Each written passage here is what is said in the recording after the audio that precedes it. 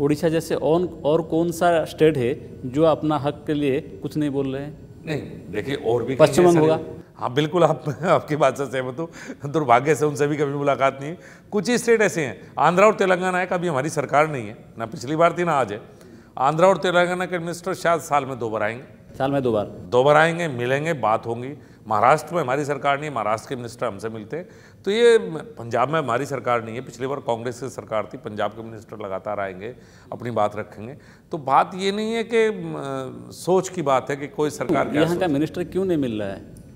शायद वो संतुष्ट हैं जो काम वो कर पा रहे हैं मुझे ऐसा लगता है। लेकिन फैक्ट्स फिगर तो नहीं कह रहा फैक्ट्स फिगर तो हम बहुत नीचे जो आप एनिमल हस्बेंड्री और फिशरी में जो सबसे निचले पायदान पर स्टेट है देश में उनमें से उड़ीसा एक है दुर्भाग्य सर मैंने बताया इतने रिसोर्सेज के बावजूद है। और उड़ीसा में जो गरीब तबका है वो भी बहुत ज़्यादा जो गाँव में छोटा किसान या भूमिहीन किसान वो भी काफ़ी बड़ी तादाद है। जिनका एकमात्र साधन एनिमल हस्बेंड्री या फिशरी है वो भी बहुत तादाद है। तो सरकार को उनके भले की सोचनी चाहिए उन पर काम करना चाहिए। अलग सा कौन सा स्टेट में जो गोपालन या मत्स्य चाष करता है उसका इनकम एनुअल इनकम डबल हुआ है? देखिए बहुत से स्टेट ऐसे जो बहुत बेहतर करते हैं। ये डाटा मेरे पास नहीं है। ना हम इस तरह का डाटा कभी हमने अभी इकट्ठा किया। टारगेट था तो टू थाउज़ेंड टारगेट वो एग्रीकल्चर ओवरऑल ओवरऑल टारगेट था। और उसमें बहुत सी बातें थी। ऐसा नहीं कि उसमें एक यही था कि दाम दुगने हो। मोदी जी की सोच ये थी कि इनपुट कॉस्ट भी कम होनी चाहिए। बहुत से सेक्टर्स पर हमने किया सुविधाएँ बढ़नी चाहिए। जैसे मैंने कहा एंबुलेंस अगर आएगी और किसान के घर तक जाएगी तो किसान जब प्राइवेट डॉक्टर को बुला रहा है और आज मेरी एंबुलेंस किसान के घर पर पहुँचेगी ट्रीटमेंट की तो इनपुट कॉस्ट कम होगी, वही एग्रीकल्चर में था। बहुत से तरीके मोदी जी ने अपनाए।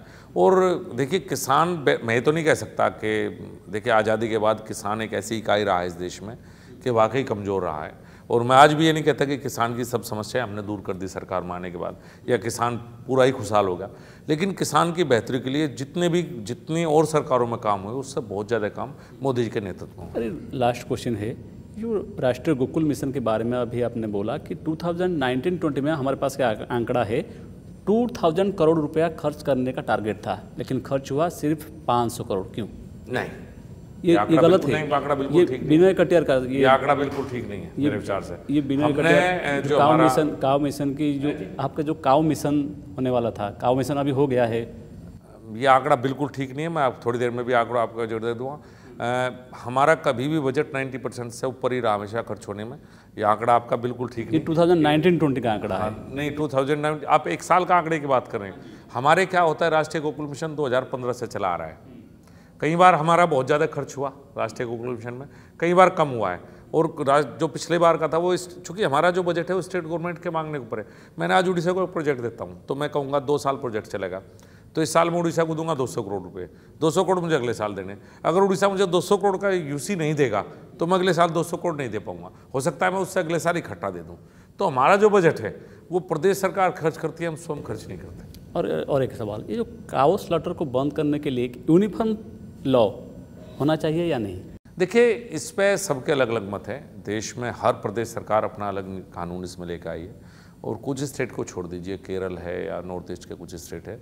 पूरे देश में काउ स्लोटरिंग पर बैन है चूँकि गाय के प्रति हमारी आस्थाएँ अलग से हैं। ये दो तीन स्टेट हैं चूँकि ये स्टेट सब्जेक्ट है फिर वो बात आती है। और हिंदुस्तान में जो संघीय ढांचा है उसमें स्टेट में आप इंक्रोचमेंट उनके उस पर नहीं कर सकते।